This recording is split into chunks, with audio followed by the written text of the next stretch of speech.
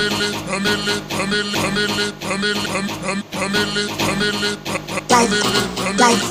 oh my god, it's Clay Mills.